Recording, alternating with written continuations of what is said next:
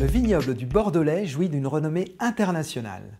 C'est le plus vaste vignoble d'appellation en France. Le climat est océanique et tempéré. À l'automne, l'ensoleillement et l'humidité de la Garonne favorisent l'apparition de champignons microscopiques. Ces champignons provoquent le développement de la pourriture noble sur le raisin. Cette étape est indispensable dans la fabrication des vins liquoreux. Le vignoble est ancré sur un sol argilo-calcaire recouvert d'alluvions de sable et de gravier. La diversité des terroirs permet d'obtenir tous les types de vins. Les vins du Bordelais sont issus de l'assemblage de plusieurs cépages aux qualités complémentaires. Le Merlot, le Cabernet Sauvignon et le Cabernet Franc pour les rouges, et pour les blancs, le Sémillon, le Sauvignon et la Muscadelle. Le Bordelais est célèbre pour ses nombreux châteaux et ses crus classés.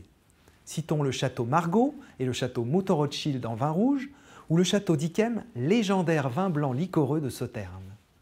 Dans la large gamme des appellations bordelaises, on trouve les appellations régionales comme Bordeaux et Bordeaux supérieur.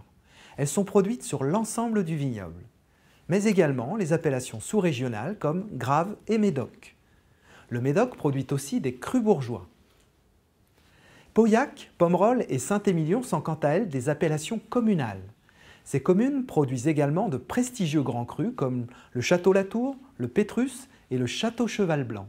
Voici maintenant quelques conseils pour réaliser vos accords mets et vins.